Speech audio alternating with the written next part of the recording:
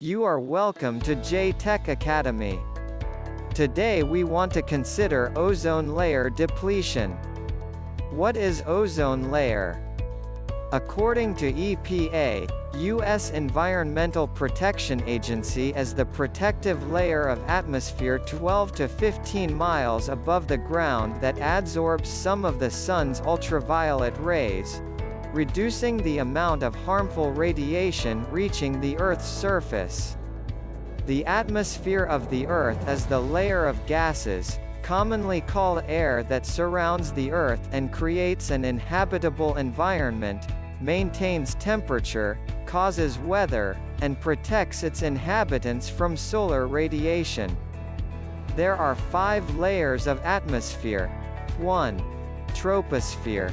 It is the first layer of the atmosphere at the equator and 18 kilometers at the pole. It extends up to 18 kilometers in height. At the troposphere the temperature decreases with height, hence the density of the air decreases with an increase in height. Tropo means change, as almost all the weather changes occur in this layer due to the formation of clouds from the water vapors. 2. Stratosphere. It is the second layer of the atmosphere and ranges up to 50 kilometers above the troposphere. Out of all the layers of the atmosphere, Stratosphere is most beneficial as it absorbs the ultraviolet radiations from the Sun because of the presence of the ozone in it. The layer provides ideal conditions for flying fighter jet planes as it is free from clouds weather phenomena. 3. Extending to a height of 80 kilometers above the stratosphere lie the mesosphere, it is the coldest layers of the atmosphere with a temperature rising up to minus 90 degrees Celsius. It is difficult to breathe in this layer as the air is thinnest with bare minimum pressure in it. No aeroplane, fighter jet, hot air balloon can fly this height to reach this layer. 4. Thermosphere is found exactly above the mesosphere with a height of 640 kilometers. The temperature in this layer increases with the height as the gas molecules present in the layer absorb the UV radiations and the X-rays from the Sun. This layer also protects the Earth from the huge meteors and satellites. 5. Exosphere it is the outermost layer of the atmosphere and extends up to 640 kilometers of height. The temperature at this layer ranges from 300 degrees Celsius to 1650 degrees Celsius.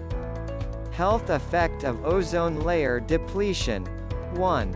Eye damage 2. Skin cancers 3. Greenhouse effect Dash Greenhouse effect is the gradual warming of the atmosphere brought about by increased carbon dioxide in the air. That is global warming. A warming of Earth's surface and troposphere, the lowest layer of the atmosphere caused by the presence of water vapor, carbon dioxide, methane, and certain other gases in the air. Of those gases, known as greenhouse gases, water vapor has the largest effect. Some incoming sunlight is reflected by Earth's atmosphere and the surface, which is absorbed by the surface, which is warmed. Infrared radiation is then emitted from the surface.